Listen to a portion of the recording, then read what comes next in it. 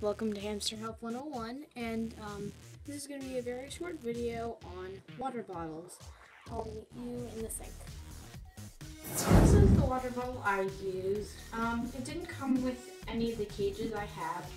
It actually, I just bought it uh, from PetSmart. It has a nice little flower design blue here, and uh, there used to be like a little ball here, but apparently that all stuck to the drain. So um, I, it's just simple. It out. Dump it out.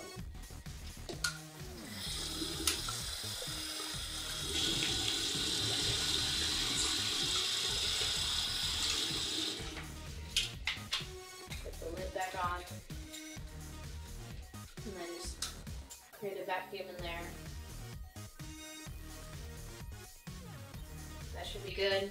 Uh, it also came with this little holder thing. It's meant for wire cages, but since I um, don't have a wire cage, I kind of improvise. I'll explain that later in my Ovo Loft review. So it just goes like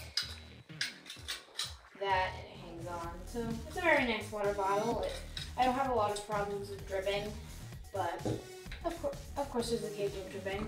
But this is the water bottle that came with the Ovo Loft and it's just I didn't use this water bottle because um, I didn't think that I didn't I personally didn't think that the hamsters could get to that. And I'll, again, I'll explain that later in my Ovo Loft review. Start this.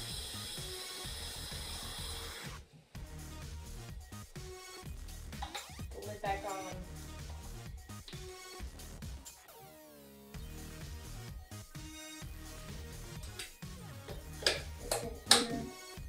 You, can, you can already see it's dripping, like uncontrollable, uncontrollably dripping. And um, it's just, I don't think that would work. So.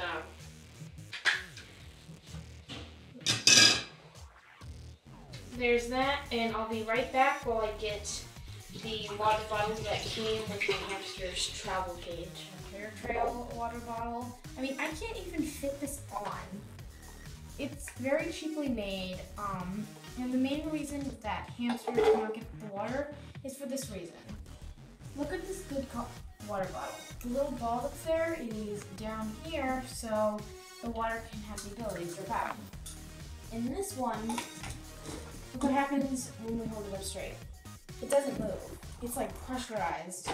So if I can try to get this on,